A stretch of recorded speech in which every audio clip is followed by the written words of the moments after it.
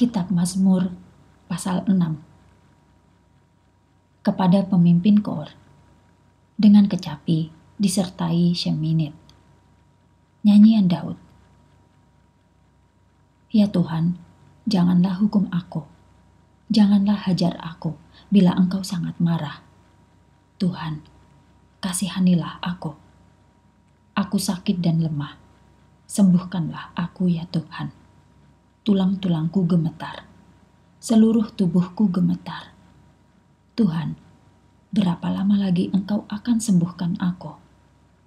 Tuhan, datanglah dan kuatkanlah aku kembali. Selamatkanlah aku, karena Engkau begitu baik.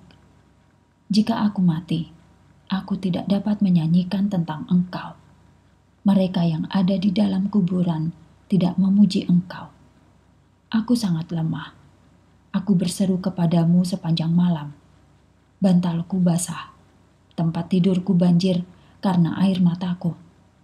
Musuhku membuat aku sedemikian sedih sehingga mataku sangat lelah karena menangis. Pergilah, hai kamu orang jahat, sebab Tuhan telah mendengar suara tangisanku. Tuhan telah mendengar doaku, minta belas kasihan.